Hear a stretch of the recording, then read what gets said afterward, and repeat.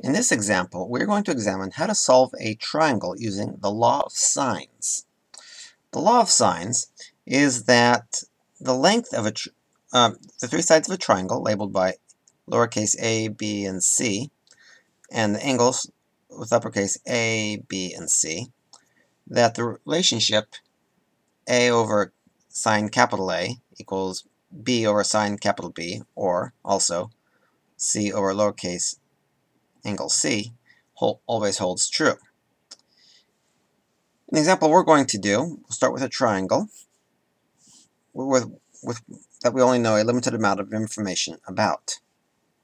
We know that we have a side that is 18, a side that is 21, and an angle that is 55 degrees.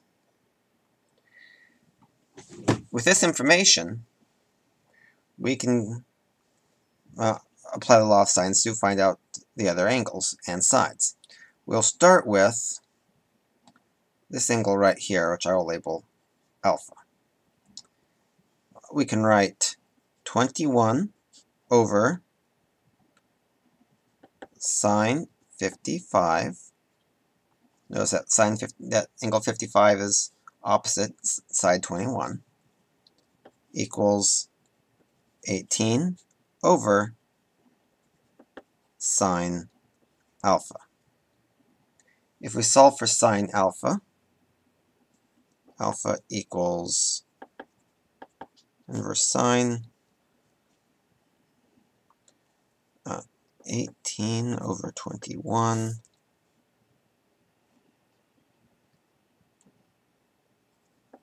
sine 55 then we'll calculate this, we'll end up with equals 44.6 degrees. And that's, we can simply work that out. Now, with this information, we now have two sides of our triangle. We, also, we have 44.6. Now, using the relationship that all the sides of the triangle equal 180 degrees, 55 plus 44.6 plus our other angle, I'll call gamma, equals, for confusion, I'll call it C. I apologize. Equals 180 degrees.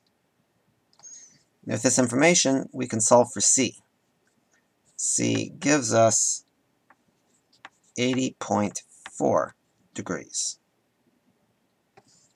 Now that we know this, we can solve for the remaining side of the triangle. We will write out, we need, we'll call this side little c. So we'll have little c over the sine of 80.4 equals, um, will type, right, 18 over sine 44.6.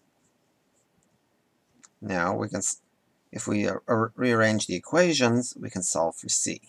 c will equal 18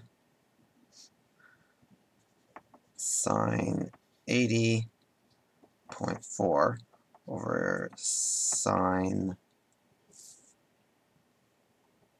44.6. If we evaluate this, we will get 25.3. And we will have now solved our triangle.